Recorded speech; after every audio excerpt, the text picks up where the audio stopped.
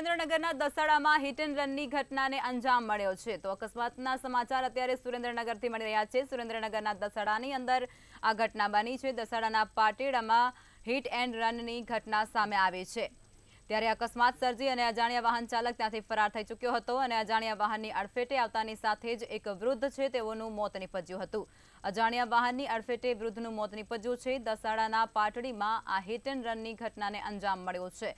જો કે અકસ્માત સર્જી અને અજાણ્યો વાહન ચાલક ઘટના સ્થળેથી ફરાર થઈ ચૂક્યો છે. સુરેન્દ્રનગરથી આ સમાચાર અકસ્માતને લઈને સામે આવી રહ્યા છે, જેની અંદર એક વૃદ્ધ છે, તેઓનું મોત નીપજ્યું છે.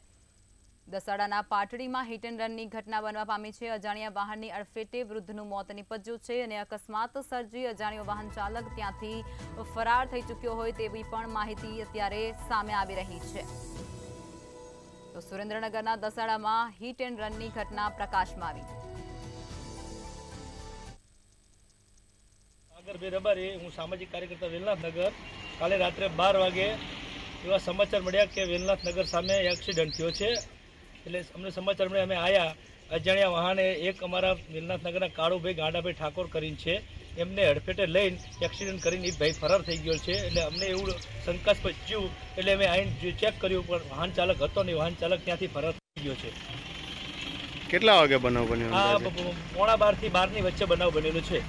આ બાબતે પોલીસને જાણ કરવામાં આવી? પોલીસને જાણ કરી હતી. પોલીસવાળા પછી આવી ગયા તમે કોલ કર્યો એટલે.